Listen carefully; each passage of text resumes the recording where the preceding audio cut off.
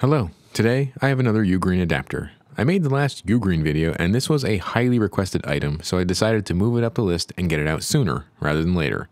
I know there are others in the series, but today only this 160 watt Nexode Pro will be put through the paces. Is this going to be an overheating mess, or is it really going to meet the claims on the box, like less heat and higher efficiency and GAN Infinity? I think Baseus has some work to do to catch up to Infinity. Infinite marketing, at least. As usual, this power adapter will be put through its paces, tested for the basic specifications like voltages and efficiency, as well as checked for things like overload and thermal performance. When something bears the Pro name, I expect it to really be a step above the non Pro version. So, what do you think? Is this Pro going to be the real deal, or is it going to be infinitely the same? To infinity and beyond, ugh. So, infinity squared next year? Where can I pick up my bonus check for that genius move? Okay, enough of that. In this series, I try to answer the question which power adapter do I want to get? The videos are detailed, so ask questions if you don't understand something. The performance is measured and compared. If you want more information, see the links on the channel page. Thanks to my current patrons and channel supporters. Today's only up is this Ugreen 160 watt Nexode Pro 4 port fast charger with model X753. This is a newer power adapter line on the market from Ugreen, and it actually consists of a few different models, but I am only looking at this flagship model today. This represents a step forward in a few areas for Ugreen. First of all, the packaging is almost plastic free. The adapter has one plastic bag wrapping around it, and the rest is cardboard, and the packaging is much easier to open and much smaller than previous devices, so this does give a professional feel to the product on first impression. Within the box, only the basics, no cables or extras, adapter, user manual, and that's it.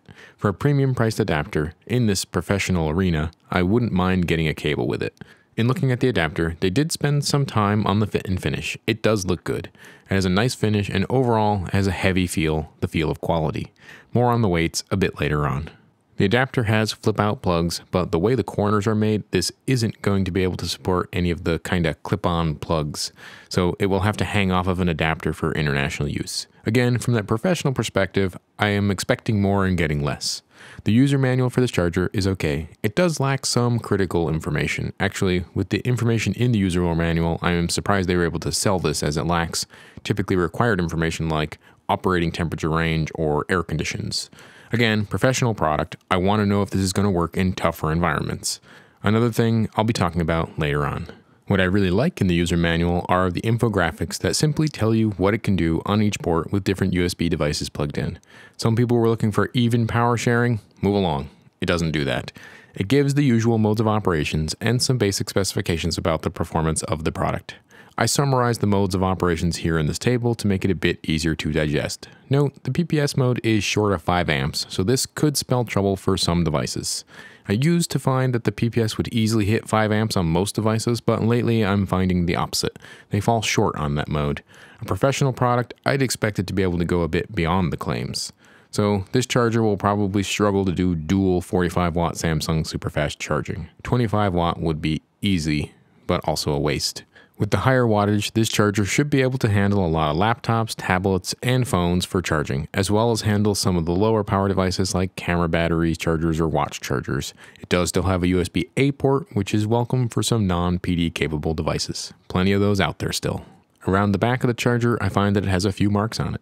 The TUV mark is a safety listing. This means the device was tested to comply with a host of standards relating to the conductivity of the plastic, the thermal performance, although I have issues with this one you will see later on, and the breakdown of the components inside under dangerous conditions. The 6 in a circle indicates compliance with DOE 6. I'm going to test that. The square in a square means double isolated. There are a few other logos on here, but I won't be going over them in this video. They relate to other compliance tests and are a bit beyond the scope of this short video. Overload is testing when the device safely shuts down when too much power is being drawn, like in a short circuit or a fault condition.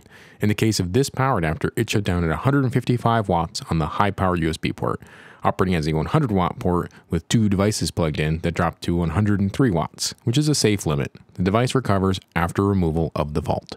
Since this power adapter has multiple ports, I can check renegotiation of power delivery between the various ports. No surprises here that each plug and unplugs triggers a reset of the other ports. Like the newer Prime Anker power adapters, this negotiation happens much faster and almost seamlessly. It will still require a negotiation, so there will still be a reset in charging state if a power delivery mode is in use, but at least it seems to recover very quickly. At 5 volts only, the power stayed on during plugs and unplugs of other ports. The USB A port also triggers a reset of the USB C ports. So this is a step in the right direction here, and this power adapter is a lot better than older chargers on the market. So the box should have had something like smart power distribution or something that it actually does. Okay, so not to go over too much here, the AC power supply supplies a controlled clean voltage for testing and comparing these power adapters. The power adapter, once plugged in, settles down to get an idle power usage. And here, for this wattage class, this adapter is excellent. Phew, some good news. The idle power usage is class leading for a 160 watt power charger. I wouldn't mind leaving this plugged in all the time. Once we put a load on the device, the data starts to shift in the other direction though. The power consumed starts to go up faster than I'd like to see, and this leads to falseness of the marketing claims that it is more efficient. Yes, it is still true they don't say more efficient than something else, but it is misleading because it isn't more efficient. Here's the overall data for this one. The voltages look good, the ripple looks very good, the efficiency is where it struggles, and the power quality score is actually excellent. So it is going to do an excellent job of consuming AC power, but in the process of converting that to DC at the output, it is losing too much heat. This means it is going to get hot. At full power, 19 watts have to be dissipated in the tiny adapter case, and that's a lot. The adapter meets the DOE 6 requirements, but just barely. The idle power was good, but the efficiency literally is the absolute minimum. When switching over to the other voltage standard, 230 volts and 50 hertz, the efficiency does improve some. The idle power usage was also higher, but still very good. There were some interesting effects in this mode though. The adapter changes modes around 80 watts of DC output power when being powered by 230 volts, which hurts the quality. This means the true power will be a little higher. I used the 28 volt mode for one of these tests, and there was an interesting effect where the ripple shoots up in both this mode and the PPS mode to about 180 millivolts. Still not bad, but suddenly much higher. This happened on the 60 Hz power as well. In all cases, the DC voltage was very close to the target though, so on this front, the adapter really is professional class. For the advanced users, here's a screen capture of the data with the adapter at full load. So I've picked and chosen pieces of this information for a presentation. There's a lot more to the testing than the data presented. This shows the AC or input side waveform capture. This power adapter is kinda heavy. For a power adapter in this class, it is pushing the upper end of the scale, but in this class of adapter, I think this is acceptable. Hopefully they spent the extra weight on heatsinks. The Satechi, Anker, and Rocoren all shown as comparisons here, and they show that this adapter is more in line with the Satechi adapter itself, but if you add in the cable, that becomes the heavier option for only 5 extra watts. So for the power level and size, it's not terrible. When directly comparing the size of these adapters, the Ugreen 160 watt Pro is cramming those extra watts into a case a bit smaller than the Satechi, while doing that at a lower efficiency, which means it has to get more heat out. Coming soon, thermals. Time to compare the data. I have several adapters in near power levels, but not exact. These are all pretty strong performers, but there are definitely some differences. When comparing the idle data across this lineup, the Ugreen 160 watt adapter does great at both 120 and 230 volts. This idle power usage is the power used doing nothing with no cables plugged in. Just plugging in certain cables raises this a lot. I am making the Satechi look bad, and that is still my daily driver. On the idle graph, the Ugreen is the lowest power consumer in the class. That's excellent. There is a caveat here, which one is better with all the cables plugged in, since let's face it, you don't unplug all the wires from the charger when you aren't using it and still leave it plugged in the wall. More on that in a future video. I should start comparing 0.1 watt out power consumption really. The tables will turn on quite a few of these. When comparing the overall data from these adapters, they're similar, but I specifically picked a similar range of adapters. The outlier is the performance of the Ugreen on 230 volts. Not amazing here. They are all the same type of power supply, but if we dig into the watts, we will find some differences. On the average power consumption graph, this becomes more evident. The Satechi 165 uses less power to supply 5 more watts than the Ugreen. This is 5 extra watts of heat in a box, and you know what that means. It isn't less heat like the packaging says, it's more heat in a smaller package. That only leads to one thing. And yes, a little longer of a wait to find out. Let's talk about value.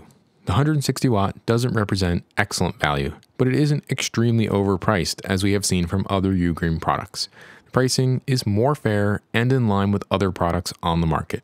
It is worse performance wise in some cases, yes, but for the cost, this time you are getting a safety listing and excellent DC voltage performance.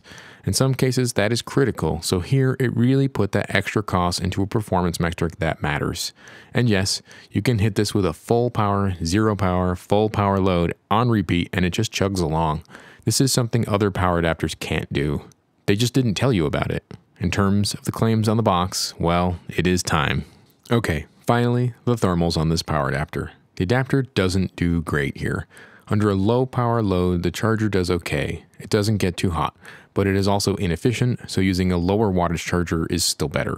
As we discussed in the average power consumption part of the video, this uses a bunch of extra watts to do the same job. So the consequence of this extra work in the tiny box means the adapter gets hot, quite hot.